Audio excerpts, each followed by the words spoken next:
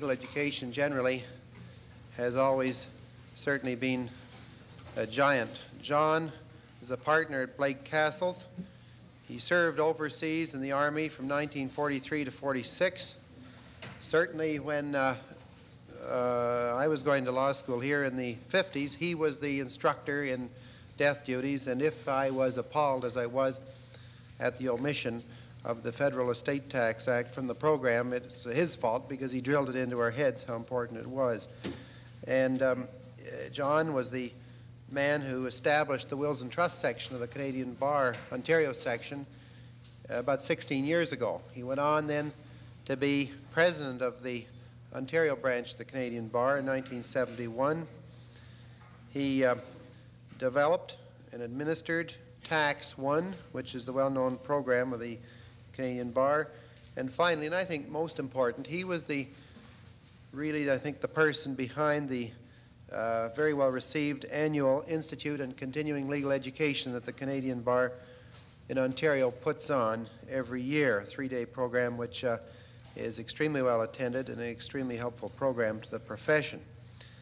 Um, John Hodgson is going to speak on the important topic of uh, conflict of interests among trustees obviously a topic that was of no concern to any of the prior speakers in the program. John?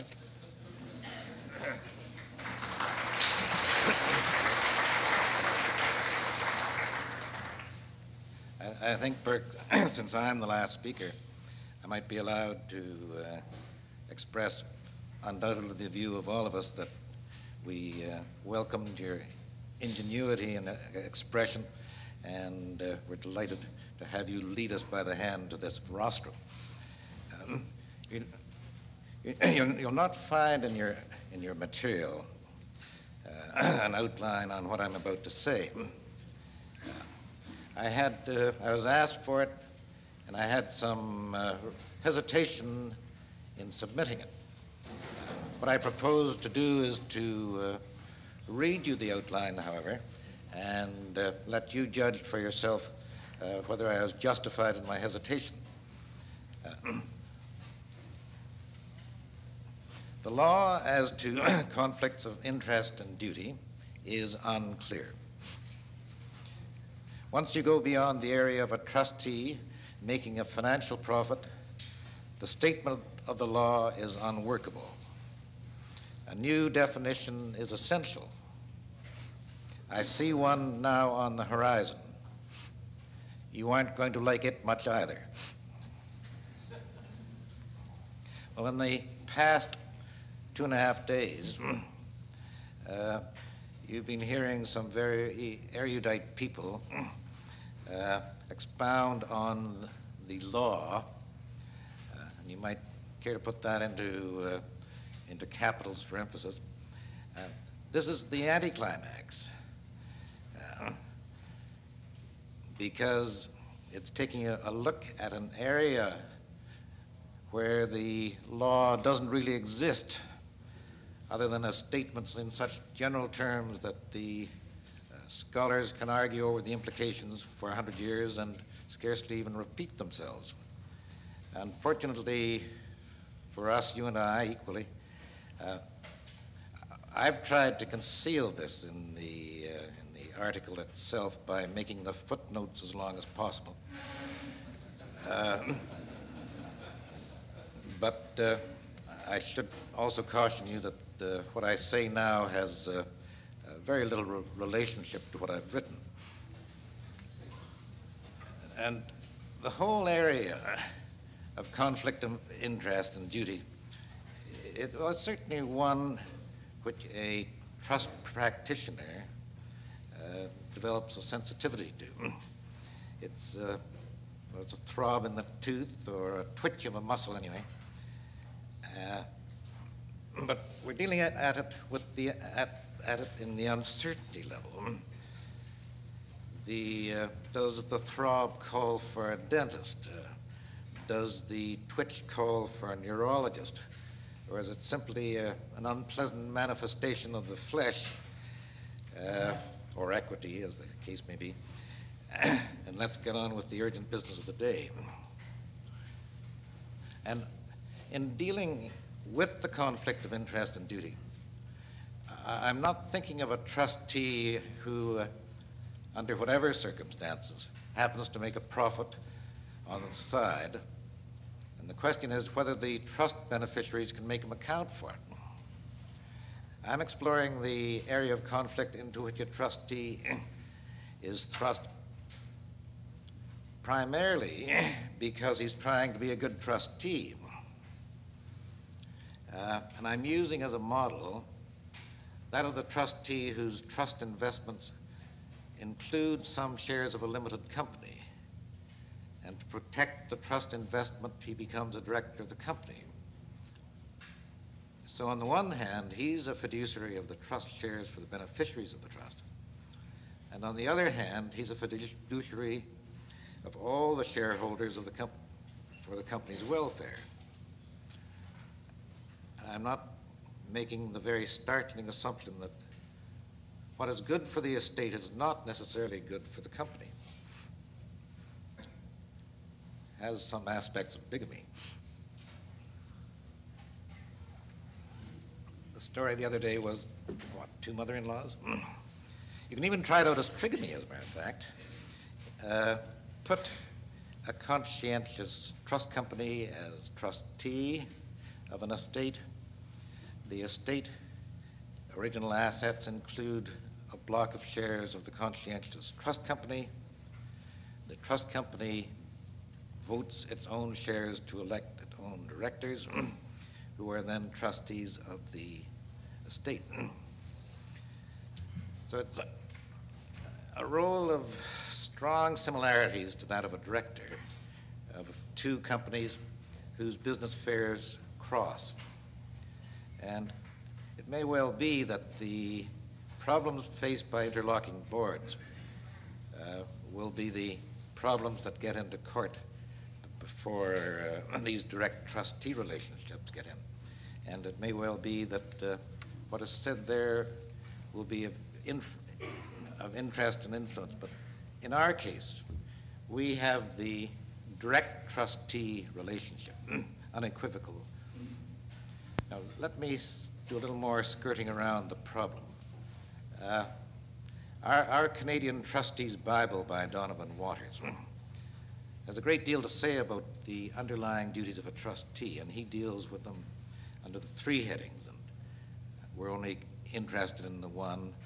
Uh, he deals with delegation of trust, standard of care, and the one we're interested in, conflict of interest and duty.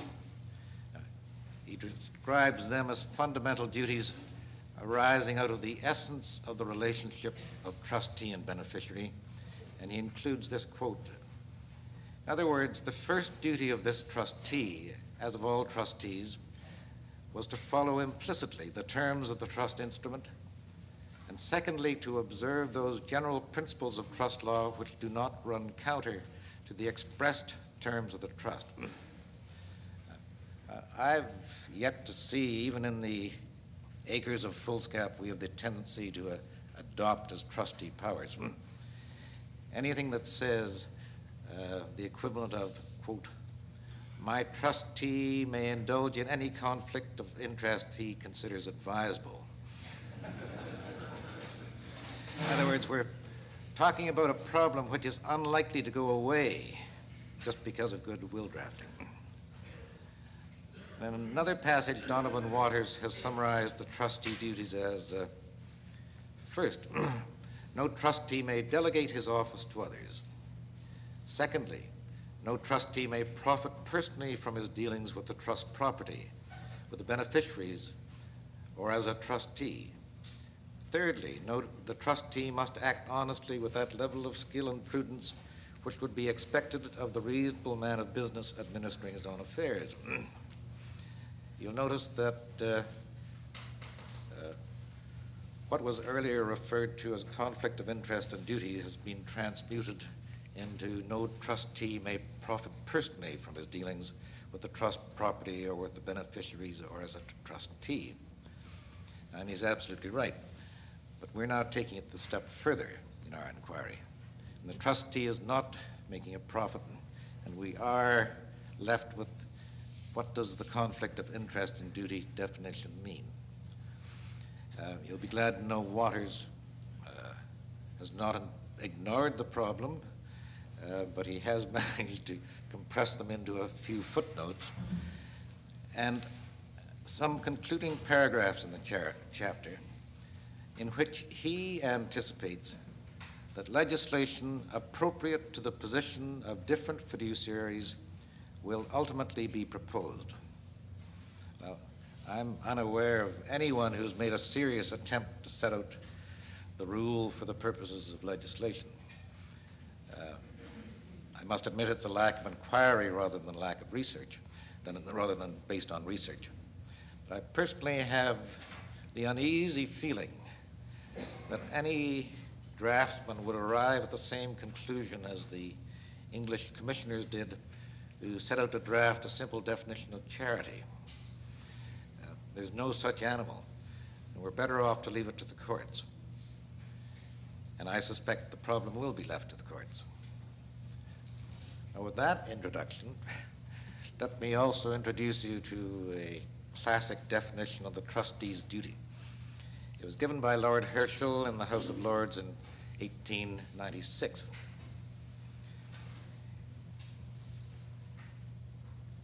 It is an inflexible rule of a court of equity that a person in a fiduciary position is not, unless otherwise expressly provided, entitled to make a profit.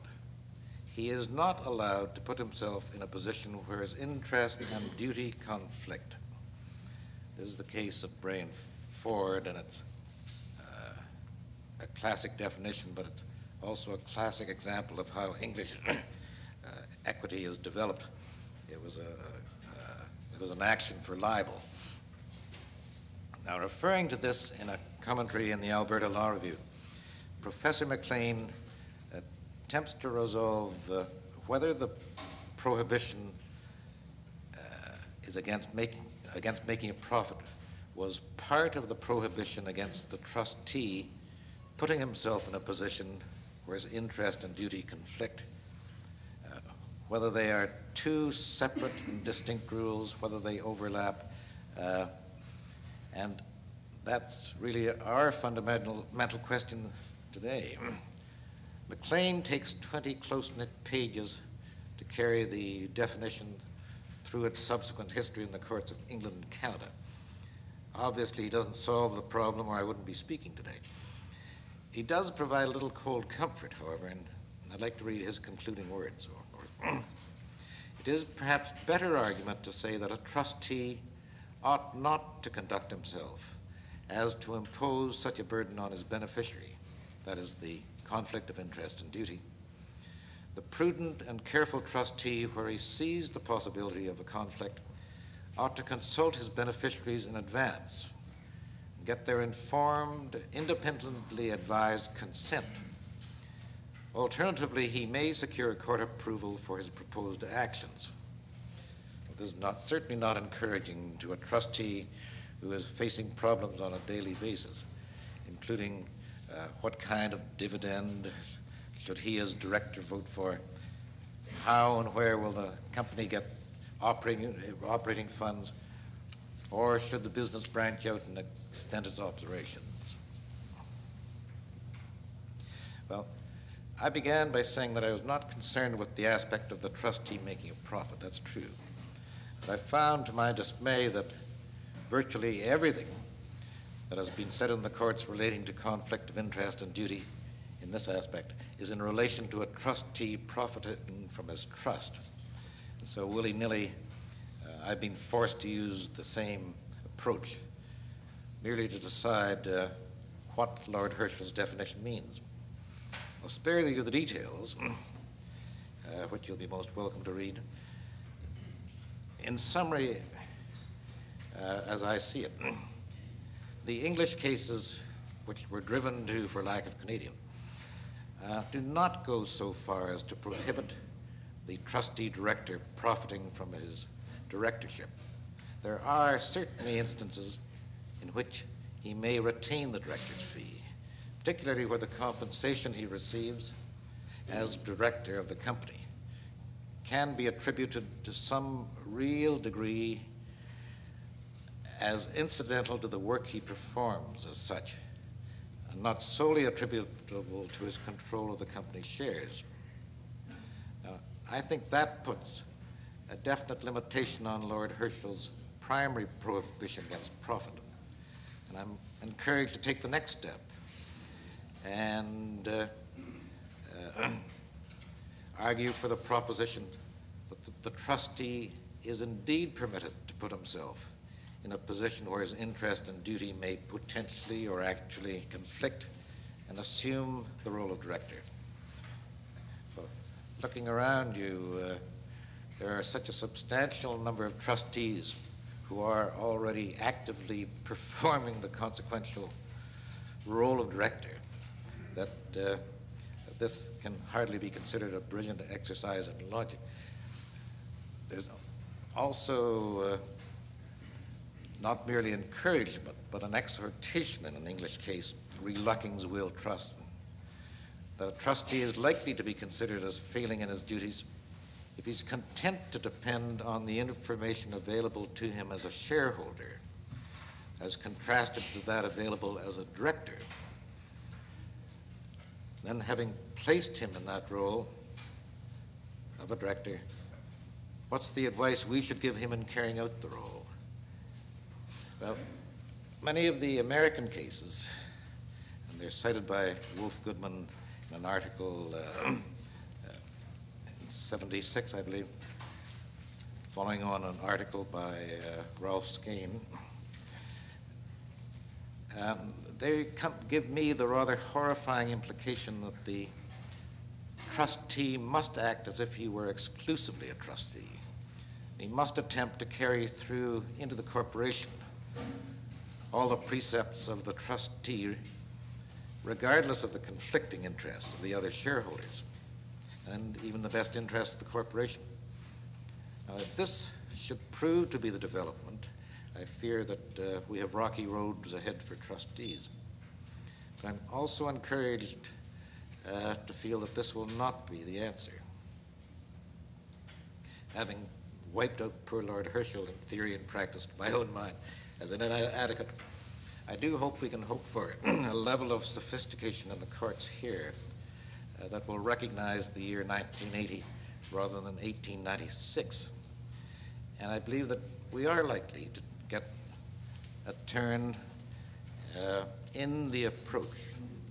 Uh, I find it in uh, Laskin Jay's judgment of Canadian Aero versus O'Malley in 1974. And in that he speaks of the avoidance uh, not of a conflict of interest, but a conflict of self interest in the rule. And he, the rule itself, he states, as in its generality betokens loyalty, good faith, and avoidance of a conflict of duty and self interest. I think it's a whole new ballgame. It leaves a great deal unanswered. loyalty to whom?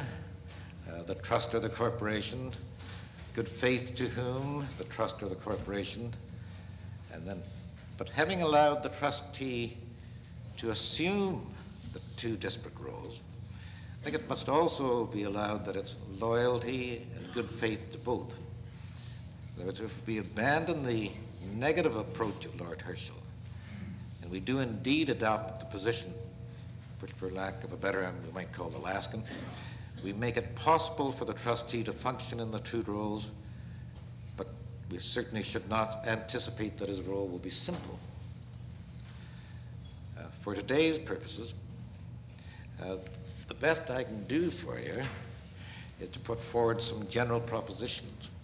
And the first is negative, uh, that we should emulate the California lawyers from that great testing ground of professional malpractice suits and learn to practice defense of law and be sure that the trustee is, we are advising, practices it as well. He, he's, he's got to recognize and act in a way indicative of his recognition of those separate responsibilities. Somehow he must maintain separate records of how he did it. recognizing he's at risk not merely to his beneficiaries, but to the other shareholders. Now, the second general proposition is also negative. We should ensure to the extent we are able that the trustee is exposed to continuing legal advice. This sounds a little absurd, perhaps, in this company. After all, we are ready and willing at all times. Unfortunately, uh, so ready and willing, we may not only be the solicitor, uh, we may also find ourselves as the trustee director. This triple role, I'd like to suggest, is uh, beyond the capacity of even the most dexterous of us. And uh, a person who proposes to ride three horses needs three legs. The third general proposition uh, is at least positive, even though thoroughly indefinite. We're, we're living in an area in which, an era in which the possibility of litigation relating to conflicts of interest and duty that face a trustee, uh, it's not, it is being enlarged not merely by the substantial involvement in the corporate holdings of a vast number of trusts, It's being enlarged through the increasing sensitivity of the trust beneficiary to his equitable claims on the loyalty and good faith of the trustee. So it's coming from both sides. Some of the continuous process of reporting to the beneficiaries on what is being proposed and carried out on their behalf in the name of the trustee will certainly never equal the protection afforded by a court ruling that McLean recommended. But it's a great deal easier to achieve. It will go a very long way indeed to ensure it. And this requires some rethinking and enlargement of what is now the universal custom of half yearly or yearly financial statements sent to beneficiaries. Most of these seem designed for the benefit of the computer programmer rather than the edification of the beneficiary. I contemplate a periodic, or at least spasmodic, commentary on the state of the Union. Even as we may have to depend upon cases dealing with the role of directors of companies as fiduciaries to develop the laws to trustees, we may also be well advised to consider the standards of reporting required by directors to their shareholders as giving us useful guidance for trustees. And if, as I believe, we are moving away from the absolute prohibitions of equity's first early steps towards the acceptance of principles of justification, not everyone's going to think that's an improvement, including, as I I must say honestly and somewhat deflatingly, those very learned professors Donovan Waters and McLean. What we're really doing is we're exchanging the guillotine, you know, guilty off with his head. But if your head doesn't come off, at least you know you're safe. For some Chinese form of thought control, what are his intentions? It's a continuing process, inquire, probe.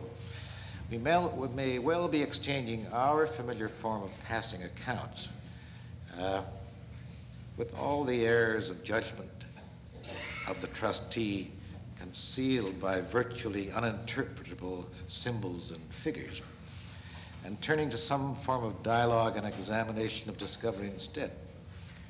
So I don't say that it'll be easier to live with. I just say that I think we must learn to live with it, because that's where I believe the development of the equitable rules against conflicts of interest and duty are taking us. Thank you very much.